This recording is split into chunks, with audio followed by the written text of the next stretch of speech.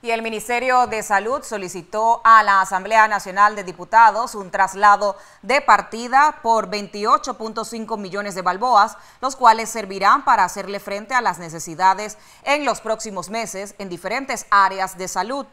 manifestó el ministro Luis Francisco Sucre. 589.550 balboas serán destinados para el Hospital San Miguel Arcángel, 3.300.000 para el Hospital del Niño y 3.300.000 para el Hospital José Domingo de Ovaldía en la provincia de Chiriquí. un presupuesto de partida total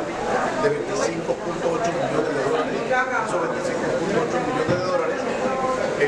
cubrir diferentes áreas. Por ejemplo, eh, 589.550 dólares para el Hospital San Miguel Arcángel, 603.846 eh, para recursos humanos, para pagar en materia de recursos humanos una vigencia expirada y unos compromisos,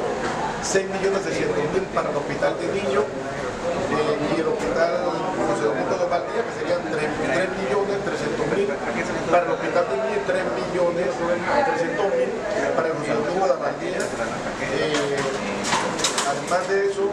307.900 dólares para la Dirección de Recursos Humanos, 630.000 eh, para comprar algunos medicamentos e insumos, 215.000 para la Dirección de Infraestructura, 5.4 eh, millones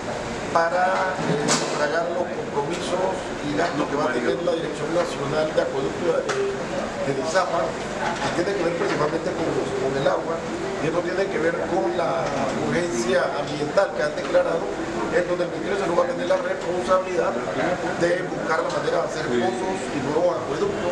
o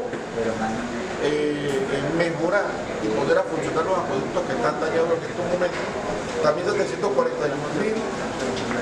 para eh, cubrir algunos contratos de vigencia expirada que se tienen. Eh, y el resto serían 4.153, 4, 4 millones 153.958, sobre todo para eh, la adquisición de eh, algunos servicios asignados a la UNAM de salud administrativa y financiera, equipo informático para epidemiología, algunos medicamentos y también el equipo de salud nuclear de las diferentes regiones que se han ido priorizando.